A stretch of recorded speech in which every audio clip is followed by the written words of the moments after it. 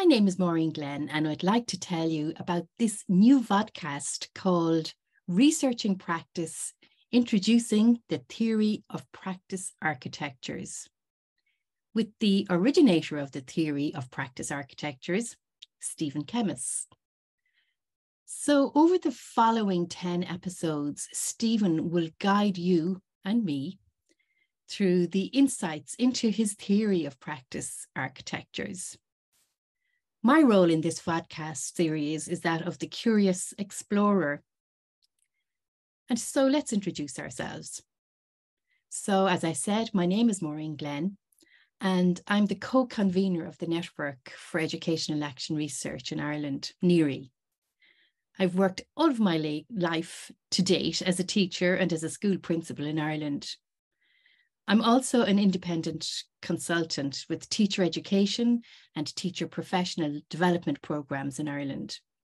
And my passion is educational action research, self study, and living educational theory research. So I think that sums me up. So now, Stephen, would you like to tell us a little bit about yourself? Hmm, thank you. Thank you, Máirín. Um, I'm, uh, I'm joining us today from the central coast of New South Wales, a place called Gosford, about an hour's drive north of Sydney. And um, I suppose, just in terms of my background, I, I studied um, as a, I was a student at the University of Sydney and, and did an arts degree in education. And then I traveled to Illinois, where I did a doctorate at the University of Illinois. Then I went to the UK, where I worked at the University of East Anglia at a time when John Elliott and Lawrence Stenhouse were there. Uh, and then I came back to Australia and I worked at Deakin University for a while, or for a long while.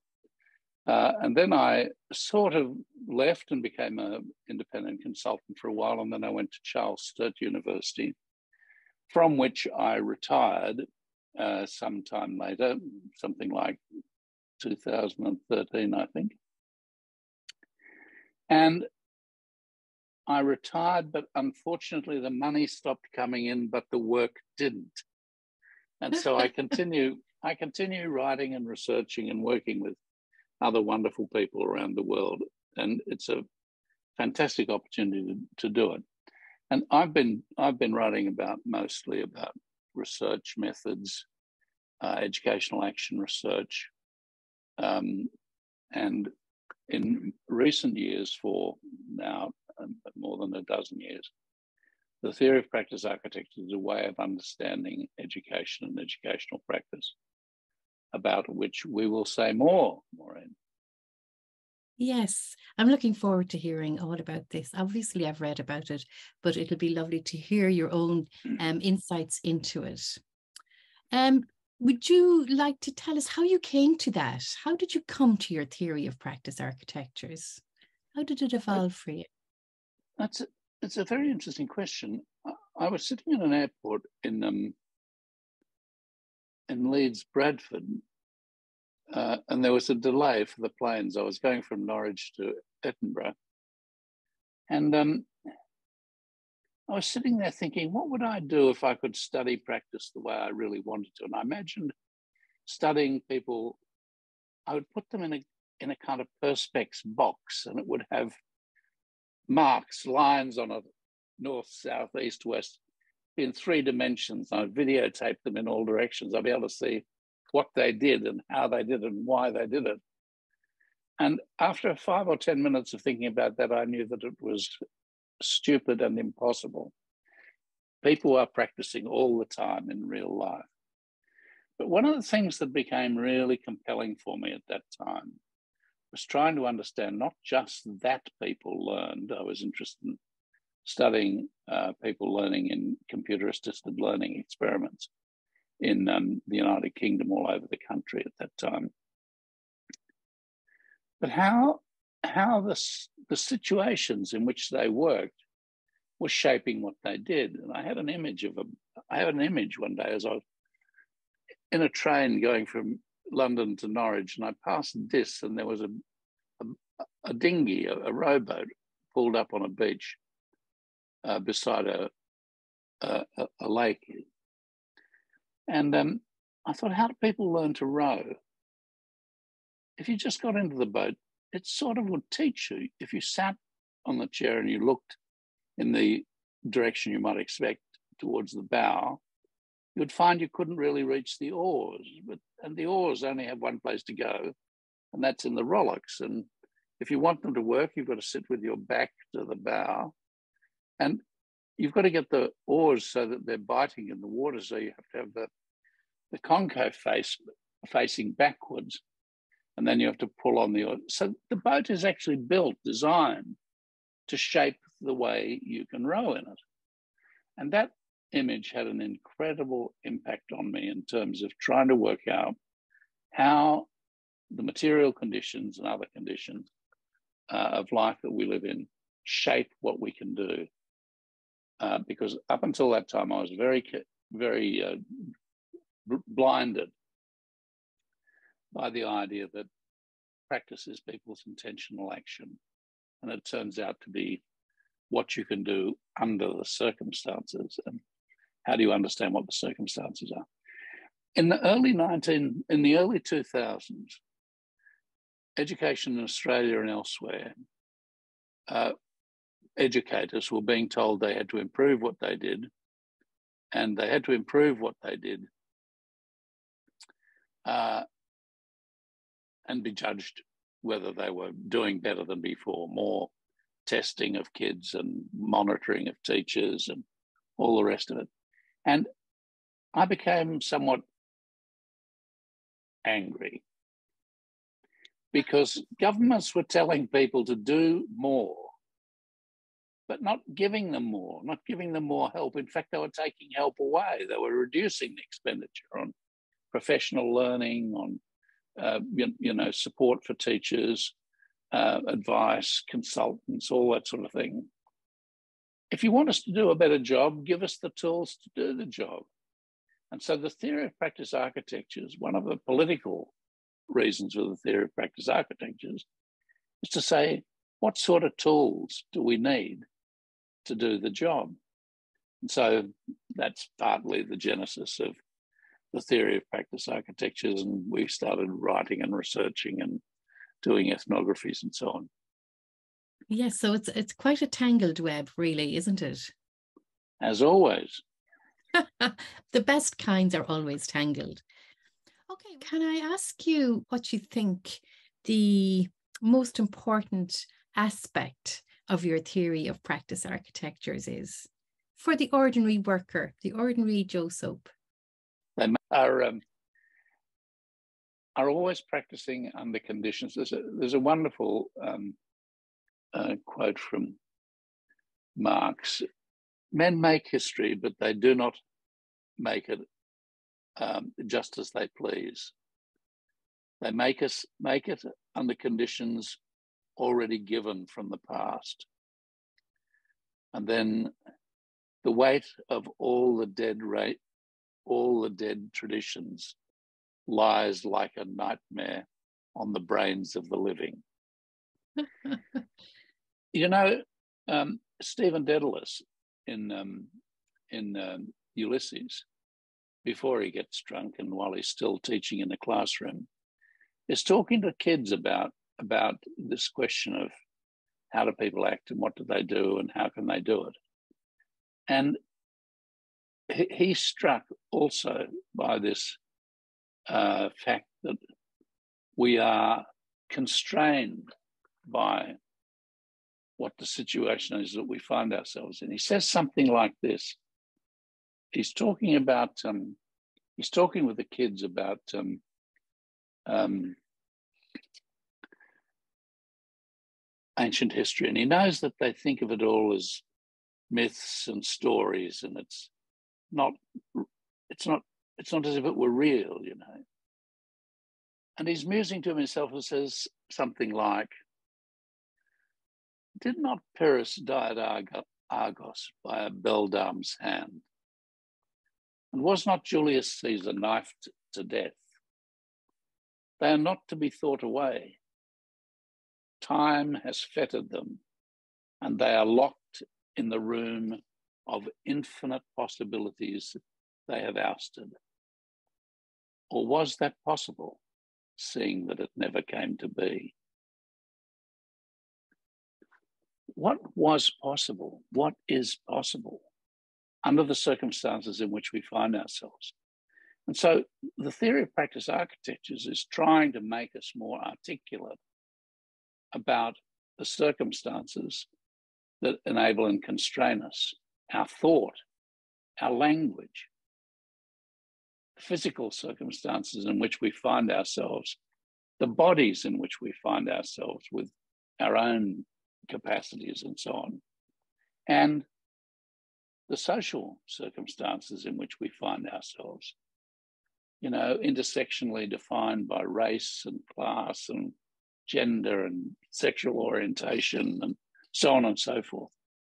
Um, we're always bearing the stamp of these circumstances.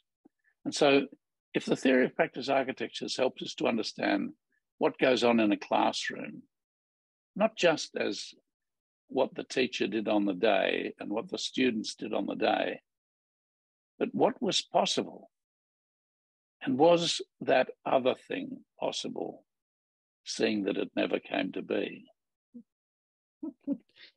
Oh, yes, I can see we have an easy road ahead of us. um, that's great, Stephen. Thank you so much um, for giving us that overview. That's really great. Okay, will we launch into it so, Stephen? Would you like to get started and just give us a little introductory taste of, of, of what these episodes are going to contain? Will do. Oops. There we go. So there we are. So there we are, Máirín. Great. Now, the first question that I'm trying to answer in this series is why talk about practice? And partly that's because there's been a a big change in social theory towards understanding practice as, as opposed to individual action or human behavior. We'll say more about that. And why a theory of practice architectures to understand how and why everyday and professional practices happen as they do. So, how am I going to approach this task with you, Máirín? Well, first, this introduction then I want to talk about the ways in which practices are more than just our individual action. I want to talk about their extra individual, or we might say communal features. They're not just what people do, but they're shaped by the situations around them, the language people use, the, the material circumstances in which they find themselves relationships of power and solidarity, care, love, friendship with people around them. And so we're going to try and find out some of that about practices. But another way of describing what practices are is to talk about them in terms of different traditions for the study of practices. And the way researchers have studied practices make a huge difference in what they discover about them it's a bit like the blind men and the elephant. You know, somebody finds the trunk, somebody finds a leg, somebody finds the tail, etc. But how you how you see practices really shapes the way you can understand them. And some of the ways that we understand them are pretty self-limiting. They prevent us from understanding practices in a richer way. Uh, this is very important. It sounds fantastically boring. People, I'm sure it won't be. people meet one another in everyday life in three dimensions, I argue.